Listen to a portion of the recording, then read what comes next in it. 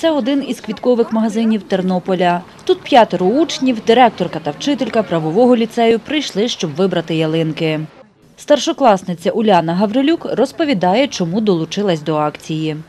Ми захотіли дуже долучитися до акції, щоб е, не зрубувати ялинку. Ну так як ялинка є символом нового року, всі там дуже люблять запах, е, всі люблять її прикрашати.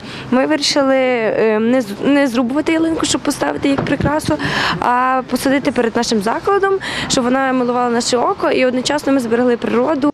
Спочатку ялинки поставлять у школі, а навесні висадять на шкільному подвір'ї, розповів десятикласник Тарас Гурський. Зараз ми їх привеземо до школи, прикрасимо гірляндами, вони будуть стояти в кожному класі. Е, А потім вже навесні ми їх посадимо на наші алеї. Де навесні кожен з класів висадить свою ялинку. Тобто ми започаткуємо таку акцію серед наших класів, і це буде традицією для наступних поколінь. Власниця квіткового магазину Іванна Бойко консультує учнів, як поводитись із ялинками в горщиках.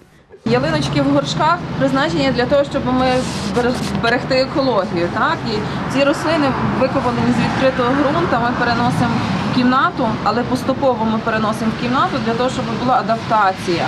І тримаємо до, до тиж, від тижня до трьох кімнатних, кімнатних температурах. І коли буде сприятливі погодні умови, тобто морози, морозів не буде, тоді ми висаджуємо відкритий ґрунт.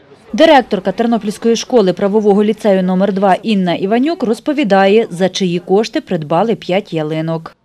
Ці кошти, оці, що зараз предназначені для купівлі ялинок, ми порадилися з класними керівниками, і вони кажуть, що в них залишилися від осінньої ярмарки. Сьогодні 5, е, вартістю по 100 гривень. У нас буде підсумкова лінійка, присвячена святам різдвяним. Ми оголошимо, оголосимо діткам, щоб кожен клас придбав ще собі одну ялиночку.